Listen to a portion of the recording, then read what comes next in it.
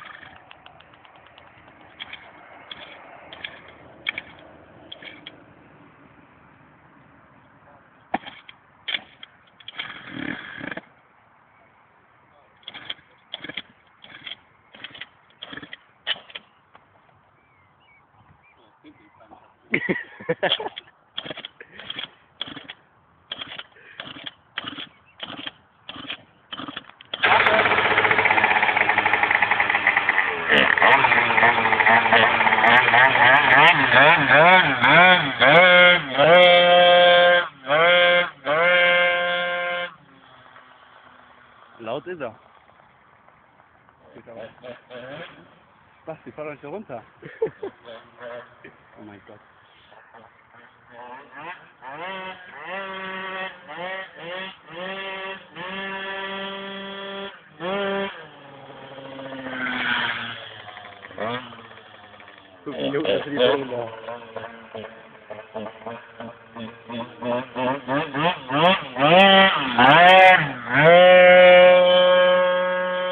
Sete pontos, tem que pegar na Polónia.